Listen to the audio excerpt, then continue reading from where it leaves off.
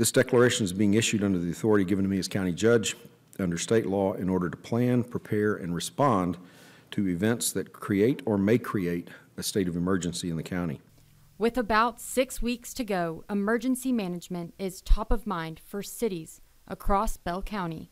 Because with populations expected to double, so does the chance for tragedy. Bob Reinhard with the County Emergency Management says cell service will be scarce, so utilizing texting as it takes less power from our cell towers. And yes, you can also text 911. Initially, just put in your pertinent information, exactly where you are, what's going on. Our dispatchers are very good at responding in text messages.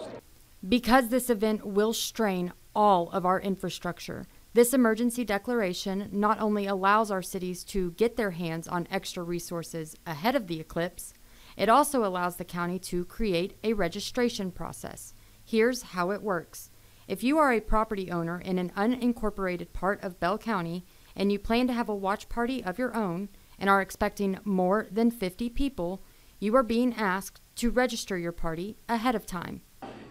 It puts me in a position to where I can better understand where to position and stage these assets so that if we have a large gathering, I have the opportunity to respond a, a lot quicker. The county judge and emergency management were joined by mayors, representatives, police, and more from cities across Bell County.